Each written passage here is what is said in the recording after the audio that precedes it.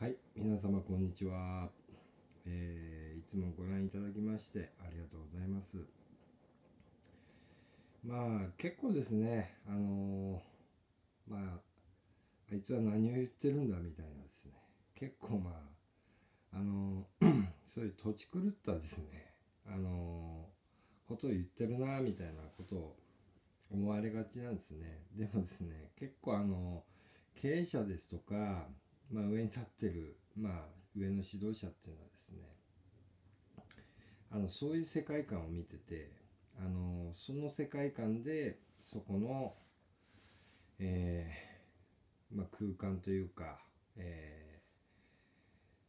状態っていうのはあの生成されてるんですね成り立ってるってことなんですね。ですからこの、まあ、理念というものを本当は皆さんに伝えたいんですが、えーなかなかですね、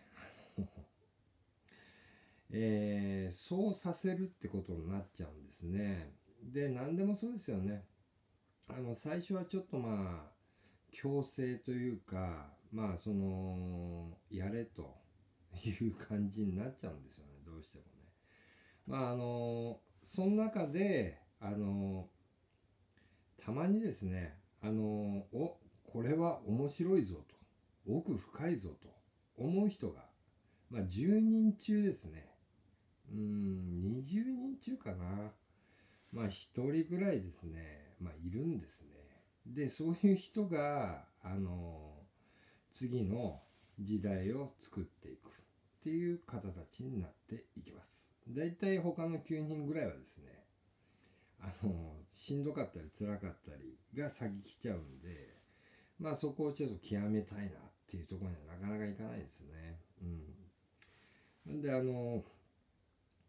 まあ思考とか理念っていうのはあのまあ理念っていうのはある意味思考ですよね。うん、思考皆さんの中にある思考ですよね。ですがその思考はまちまちですよね。まあ早く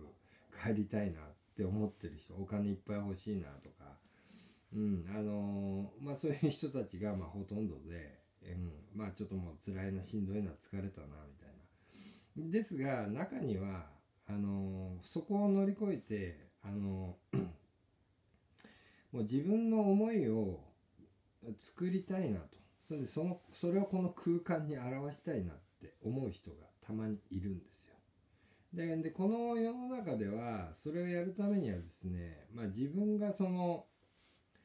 まあ結構自分よくね渦の例えにあのを使ってよく言ってたんですね。まず自分が中心にならなきゃいけないんですよ。自分が中心に。つまりその言われて物事をやるとかっていうのはちょっともう論外でまあ自分がやること、えー自分が中心になるっていうところにまず あの思考を持っていくってことですよね。でそのためにはやはりあのもう中心になる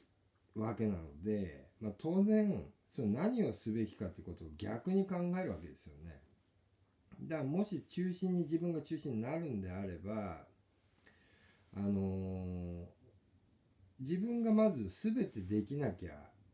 いけないですよね。まあこれ普通な話ですよね。でなおかつまあそのえーその自分が中心となるわけなんでまあある意味その見本にならなければいけないわけですよ。その集まってきてくださる方々の。まあ内輪の部分でもですよね。で今度は外側ですよね。お客さんとかですよね。でお客さんの場合も自分が中心なんでそのその内側に対してその見習っていただくっていうのと一緒でやはりあのどう満足してもらうかってこと。内側と外側両方に自分という中心的な存在があるんだってこの自覚を持つってことなんですね。ですがなかなかちょっとこれね持てないんですね。あのえー結構まあいろんな問題なりね結構あのまあ、苦しいことが多いんで自分が中心になって何かをやっていくっていうのは、うん、あの辛いことなりあのそうですねあの その人にしかわからないことっていうのは結構あるんですよ。ですが、まあ、この自分が中心なんで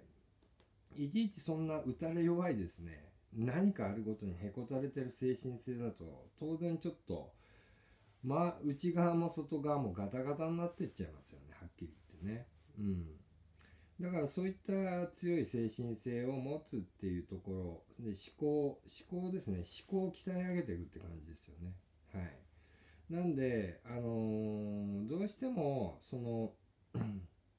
えー、属してる時っていうのはまあそのやれって言われたことをまあやっていけばいいだけなんですけど中心だとやはりやれっていう前にそのやんなきゃいけないしあのー、気づかなきゃいけないつまり世の中の中心に自分がいるってことなんで自分が何もしなければ何も始まんないわけなんですよ。ですから自らが何かをいつも始めていくしかないんですね。ですがあのー、何回も言うんですけどそういう承認欲求的なところ、まあ、どうしてもそのめ売り売れたいだとかその目立ちたいだとかっていうのが先来ちゃうんで、まあ、これはまあしょうがないですね、まあ、自分も最初それありましたんで。ですが根底的にはその、えー、その自分のなすことをですねやはりその、えー、でまあそのより喜んでいただくっていうことですよね。なぜなら自分が中心なんで。でまあ分かってもらおうとかっていう思いは自分は持たないようにしましたね。あの分かってもらおう俺はこんだけやってんだとかっていうのはそういうのはもう持たないようにしました。一切ね。当たり前なんでそんなことはね。なんでいかに喜んでもらうかっていうことだけですよね。でそこも、えー、それを それはもう外側に対してまあお客さんに対してのことなんですけども実際まあそういう思いを持ってですねまあやってるとやはりそういう姿勢というものをやってるまあ、えー、下の者たちも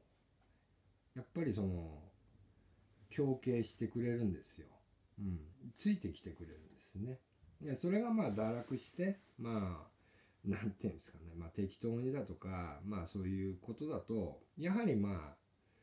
あまあそういう人たちっていうのはまあ上を目指してる人っていうのはもっと他にいいとこあるんじゃないかとかまあそういうふうに考えてしまうんでですからそこが結構ですねまあ創造主のまあその腕の見せどころなんですよね。ですからそのこの思考ですよね。私がよく考えてたのはこの思考っていうのにはキリがないしあの限りがないわけですよね。まあ別にあのなんかそういう自分のこういうとらわれた環境に執着しなければ何でも発想できるわけですよ。ですがあの今ある環境の中の考えだとどうしてもそのあのえー、て言うんですかね。それに沿ったいやもううちがこんなことやっちゃうと恥ずかしいだとか、まあ、そういうふうになっちゃいますよね。それはちょっと趣旨と違うんじゃないアメリカンダイナーとは違うんじゃないかハンバーガーとは違うんじゃないかじゃないですよねもう今の世界まあどんな料理にも各国のエッセンスは取り入れられてますし、まあ、そんなことしたらもう正直あのあの時代 時代というものはもう常に移り変わっていくので あのなかなか残っていかないですよね。うん、なのでそのそういったところを取っ払ってなおかつそういうあのその何て言うんですかね最先端を行こうというとかそういうことではなくその自分がの中から湧いてくるそのものを素直に、うん、あのやっていくっていうことなんですよね。だからこれをやったらそのいや受けんじゃないんだろうかとかそういったことではないんですよ。でそういったことをそういう欲的な考えを遮断したところで出てくるものでそれが結果あの なんか流行になったり流行ったりとかするわけであくまでもそのえーと、この業界でトップに立とうとかそういうことではないんですよね。あくまでも自分の中から純粋に湧いてくる、うん、あこういうことをやったらもっとあの喜んでもらえるんじゃないのかなっていう、まあ、他がやったことじゃないとかそういったことではなくてで結果それがまあ他がやったことじゃないことを、まあ、やってることになっちゃうっていうただそれだけなんですよね。うんですが、まあ、そういったところにはあのなかなかですねあのやはりあの、まあ、他と違って、まあ、その人なりの業務工程なりがたくさん入ってくるので、まあ、手間ですし、まあ、しんどいですしあのですが、まあ、そういう手間やしんどさやまあその 利得ですよね。こんぐらいでいいんじゃないっていうのは抜いたところのまあその純粋に抽出したこのもう絞って絞って抽出したこの一滴ですよね。これをポトンと心に落として波紋を出すっていうまあこういう感じですよね。まあちょっとまあまた分かんないこと言ってると思うんですけどまあそんな感じですねあのまたちょっとわけわかんないお話になってしまったかもしれないんですがあのえー、なんかそういうお話をまあまあそうですね100万人中の中1人ぐらい聞きたい方がいらっしゃるんでまあそういった人に向けてお話ししてます。はいじゃあ今日はですねこんなところで、えー、終わりにしたいと思います。いつもありがとうございます。バイバイ。